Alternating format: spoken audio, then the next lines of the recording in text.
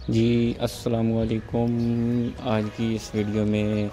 जो ये ट्रैक्टर है हमारे पास एट चार सौ सी इसका जो मसला था, वो ऑयल जो है, वो गायब कर रहा था। तो जाँच करने पे हमें पता चला कि इसके हाइड्रोलिक पंप की जो है, वो सील लीक है, जिसकी वजह से ये जो ऑयल है, ये टाइमिंग प्लेट में जा रहा था और उधर से इंजन के ऑयल में मिक्स हो रहा था। तो ये जो हमारे पास हाइड्रोलिक पंप है एच एस कंपनी का, इसको हमने जब देखा तो इसके गुटके ख़त्म थे और इसकी शाफ्ट जो है वो चाल कर रही थी, जिसकी वजह से हम इस नतीजे पे पहुँचे कि ये हाइड्रोलिक पंप तो अब काम कर सकता नहीं है। तो इस वजह से हमने इसके साथ नया हाइड्रोलिक पंप लगा दिए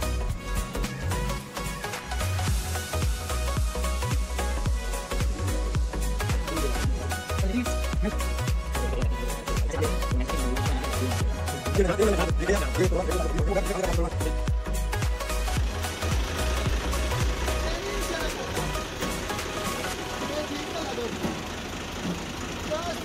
grazie.